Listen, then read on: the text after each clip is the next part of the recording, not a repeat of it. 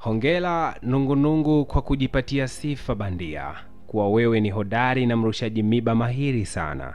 Rahasha, nungunungu, wewe ni mpole sana. Tena kwa bahati mbaya sifa hizo wala hauna. Wangapi wanaamini kuwa nungunungu ni mtaalamu bora kabisa wa kurusha miba kwa adui, jambo ambalo si sahihi. Leo Busokelo TV tutakufahamisha juu ya sifa ya nungunungu na miba yake. Historia, nungunungu ana utofauti upi na nungunungu mwenzake?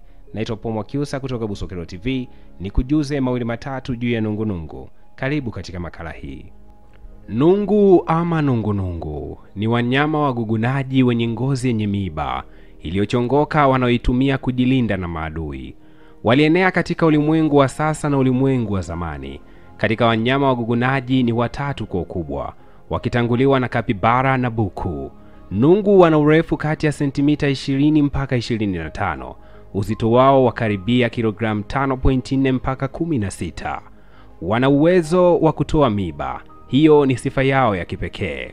Wana umbo la duara, wakubwa wa taratibu kweli hawa. Nungu huwa kati ya rangi mbalimbali mbali, kijivu na mara chache sana utawakuta katika rangi nyeupe. Nungu ni miongoni mwa spishi 29 za wanyama wa wagugunaji, yani rodent wa familia ya Eresizotindae au Hystricidae.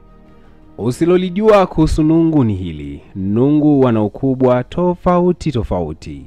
Nungu aitwaye Lothischards porcupine wa Amerika ya Kusini ana uzito pungufu wa kilo mmoja ukifananisha na nungu wa Afrika.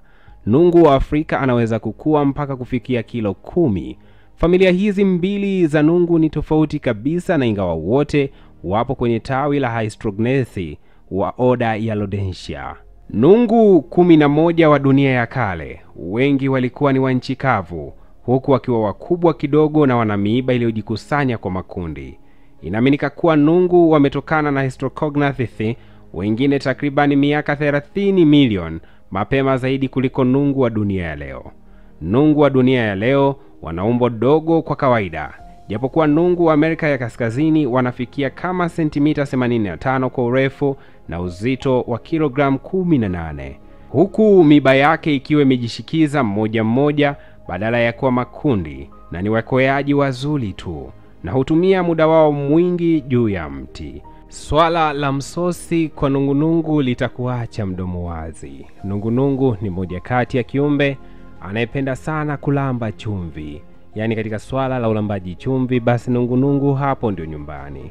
Nungunungu anapotafuta chumvi, wakati mwingine huweza kupata kupitia makazi ya watu na kwa tabaka la mbao zilizopakwa sodium nitrate, rangi ya kuta, mishikio ya vifaa, viatu, nguo na vitu vingine vilivyopata jasho.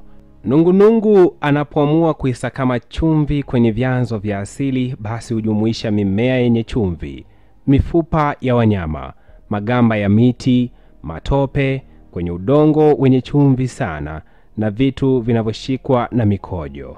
Nungunungu anapoamua kutafuta msosi haangalii mazingira. Huyu si mchagua kazi bwana. Na ukiamua kumtafuta nungunungu, basi na kuelekeza makazi yake. Nungunungu hupatikana sana katika maeneo ya kawaida na tropiki ya Asia, Italia, Afrika na Amerika ya Kusini na Kaskazini pia. Nungu huishi kwenye misitu, jangwani, sehemu zenye miamba, vilima na nyikani. Baadhi ya nungu wa dunia mpya huishi kwenye miti, lakini nungu wa dunia ya kale wanakaa ardhini. Nungu huweza kupatikana hata kwenye miamba kwenye ardhi yenye hata urefu wa mita elfu tatu mia saba. Nungu ni wanyama wa usiku. Ukweli kuhusu miba ya nungunungu umejificha sana, na uongo kuhusu miba yake umepambazuka misili ya jua la asubuhi, na sasa umekolea kiasi cha kufikia mchana wenye jua kali. Kila mtu anajua uongo kuliko hata ukweli. Je, ni kweli nungunungu hurusha miba yake kwa adui? Hii ni makala inayokwenda kufafanulia.